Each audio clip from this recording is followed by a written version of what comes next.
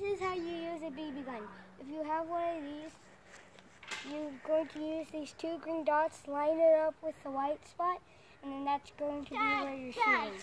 We made this target today, and this, don't put your finger like this every single time you're just not using it. You want to put your hands up here. If you are not using the gun, turn on safety. If you have to reload on this BB gun, there is a button right here. You push that, then you can grab the ammo out, and then you can reload. This is how you shoot. You might, if you're a little kid, you might want to use two fingers and shoot.